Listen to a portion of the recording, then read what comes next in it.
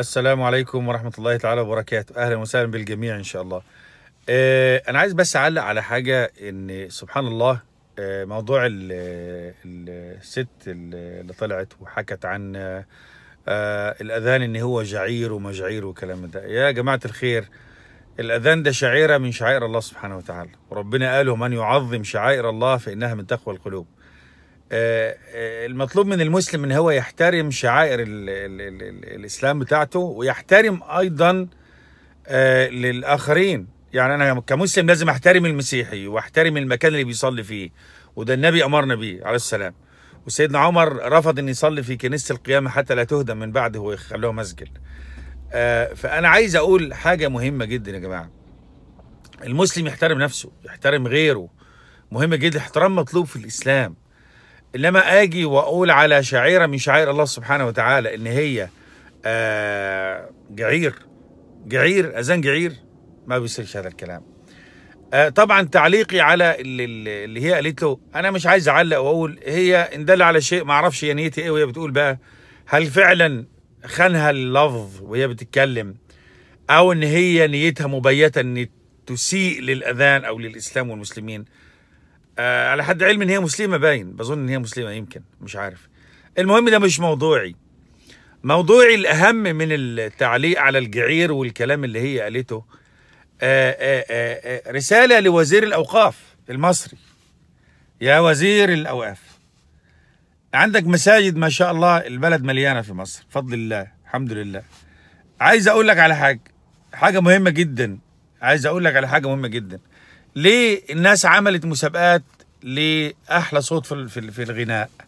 ليه الناس عملت مسابقات ل آه، آه، آه، أحلى مذيع أو أجمل مذيع أو أقوى مذيع. عملوا مسابقات لل- للأقوى أكشن والأكترز وغيره وغيره وغيره. ليه ما تعملش مسابقات في مساجد مصر لأحسن مؤذن؟ وتحاول تعمل good selection من المؤذنين. لأن الأذان ده هو حاجة بنسمعها خمس مرات في اليوم اللي في مصنعه واللي في شغله واللي في ماشي في الشارع واللي في بيته. بيسمع الأذان في المساجد. والأذان مش جعير الأذان ده حاجة بتنادي الناس عشان يجوا يصلوا. يعني حاجة لازم تكون في ميكروفون وتكون عالية عشان الناس تعرف إن في أذان وفي شعيرة من شعائر الله بترفع اللي هو الأذان اللي بياخد خمس دقائق أو أقل. ثلاث دقائق بالظبط. وبس ثلاث دقائق دول بيفرقوا معانا. إزاي؟ لما عبد الله بن زيد الرسول صلى الله عليه وسلم علمه الأذان قال له اذهب فعلمه لبلال فإنه أندى منك صوتا. ده كلام النبي ده بقى اسمعوا. اذهب فعلمه لبلال فإنه إيه؟ أندى منك صوتا. بمعنى إن الأذان ده بيسري في القلب. الشيء الجميل اللي بيسري في القلب لما سبحان الله بنسمعه خصوصا القرآن الكريم أو الأذان أو الحاجة اللي فيها اسم ربنا ده بيخلي القلب يلين كده. والله اللي قلبه حديد بيلين. اللي مش عايز يصلي هيروح يصلي لما أسمع واحد. والعياذ بالله أنا بتكلم مش على الأذان بتكلم على الصوت. والعياذ بالله بقول للناس حي على الصلاة وبيعملهم بإيده كده ما تجوش ما تجوش. حي على الفلاح وبقول لهم بإيده كده برضه ما تجوش. ما هو صوته بقول لهم ما تجوش ما تجوش على الجام ما تصلوش. ليه؟ لأنه صوته بينفر وإن منكم لمنفرين صراحة. ما أقدرش أقول على الأذان جعير وإلا أدبي لا. ما أقدرش أقول على شعيرة من شعائر الله جعير لأنه ومن يعظم شعائر الله فإنها من تقوى القلوب. دي واحدة. حتى القرآن الكريم يعني الرسول صلى الله عليه وسلم بيقول ما أذن الله لشيء إلا لنبي يتغنى بالقرآن. يعني يا ربنا يستمع له واستماع الله سبحانه وتعالى استماع يليق بجلاله عز وجل. يحب يستمع له. اللي يقرأ القرآن بصوت جميل. وقال وزينوا القرآن بأصواتكم. زينوا القرآن بإيه؟ بأصواتكم. يا جماعة الخير أنا أحيانا بقف ورا إمام أصلي في القبلة مجرد ما يقول سورة الفاتحة الحمد لله رب العالمين ببقى عايز أهرب من الصلاة وأجري. لا عارف أحكام تجويد ولا عارف قراءات ولا عارف حتى الفتحة والضمة والكسرة بيكس بيكسرها. ولا عارف يطلع مخارج الحروف كلغة عربية. ما القرآن ده لغة عربية القرآن ده إنجليزي ما لغة عربية. ومش عارف حتى يقرأ بالصوت بصرف النظر بقى عن المقامات اللي بيقولوها الآن والعلوم اللي بيخترعوها الآن عشان يجملوا الأصوات وغيره. آه، ما, ما, ما- فيش حاجة خالص. يعني بتكلم عن الجنة بتحس إنك في قلب النار. بتكلم عن النار بيحس إن أنت في قلب ال- والعياذ بالله إيه؟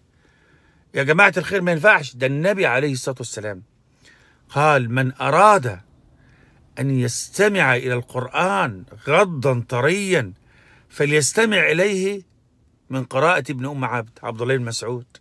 والرسول صلى الله عليه وسلم he appointed some of the صحابة to recite القرآن and to teach القرآن to the الصحابة اقرأ ابن حضير فإن الملائكة تتنزل لسماع لسماع القرآن.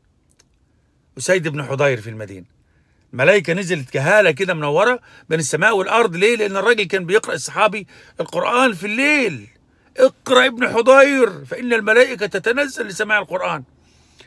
لما النبي عليه السلام الصحابة يقولوا له إن إن إن إن, إن أبو موسى الأشعري اليمني أه أبو موسى الأشعري الصحابي الجليل زعيم الأشعريين أبو موسى الأشعري مجمع الصحابة وقاعد بيرتل القرآن ليهم. اليمنيين عندهم صوت حلو قوي ما شاء الله أهل اليمن. وبعدين الرسول يستمع إلى قراءة مين؟ أبو موسى الأشعري. فيقول له يا أبا موسى لو رأيتني لو رأيتني البارحة وأنا أستمع إلى قراءتك لقد أوتيت مزمارا من مزامير آل داود. صوتك كان جميل وأنت بتقرأ القرآن. قال له يا رسول الله والله لو أعلم أنك تستمع إلي لحبرته لك تحبيرا. لحبرته لك تحبيرا. ده ما كانش آخري. ده أنا كنت هجيب آخري بقى في القراية. يا جماعة دي نداء للناس المسؤولين. يا وزير الأوقاف مش هتكلفك حاجة. في بعض الدول عملت مسابقات للمؤذنين واللي اللي اللي اللي, اللي يقول الأذان ده بي- بيخلي الناس والله العظيم صوته بيسري في القلب. ندي جميل جدا.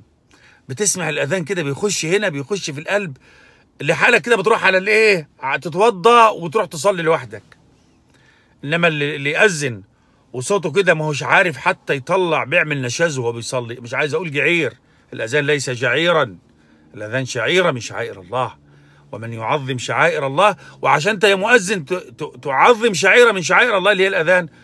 والمؤذن مؤتمن كما قال صلى الله عليه وسلم المؤذن مؤتمن والإمام ضامن.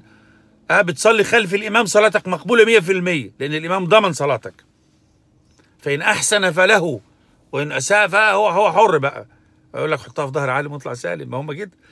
ويجي المؤذن مؤتمن على الوقت بتاع الأذان شعيرة هذه. شعيرة من شعائر الله عز وجل. والأذان اتعلمناها من الله أكبر لا إله إلا الله في زيادة ولا نقصان. لأن دي عبادة توقيفية زي صلاة المغرب ثلاث ركعات والإيه الفجر ركعتين والعشاء أربع ركعات ما نلعب فيهم. بتاخدها زي ما بيقولوا as is كده.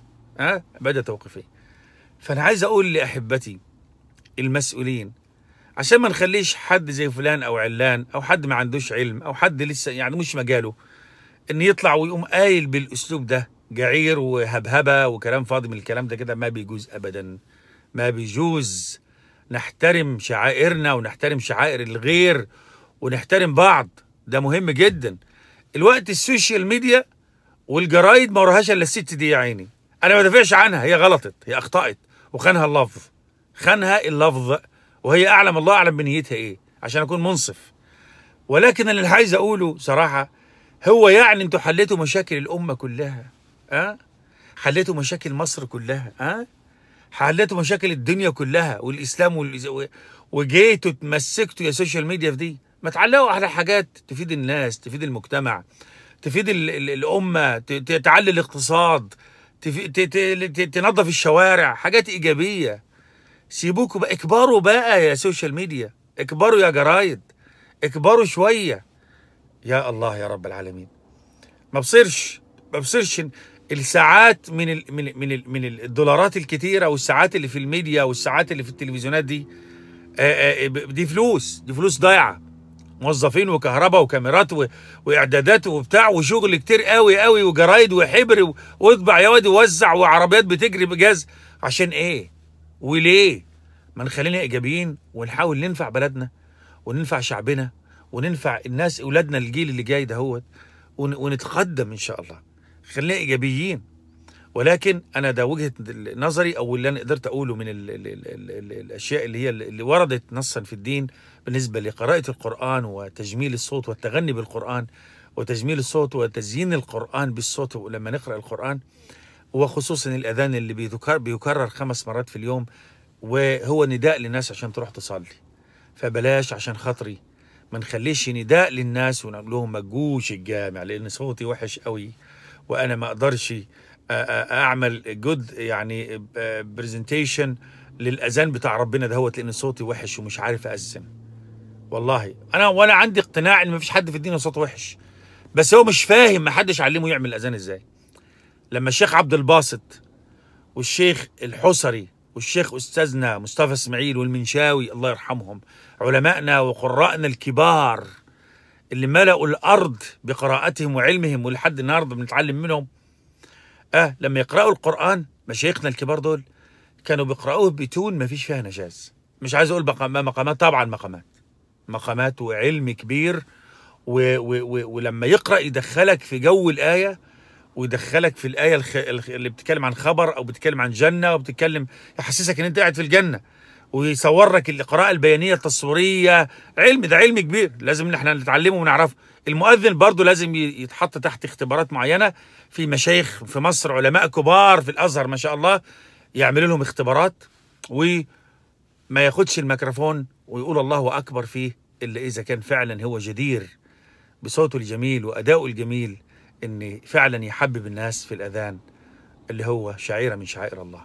هذا والله أعلم. بشوفكم على خير إن شاء الله. تابعوني على قناة نور البيان بإذن الله. هتلاقوا ما يسركم بإذن الله إن شاء الله. السلام عليكم.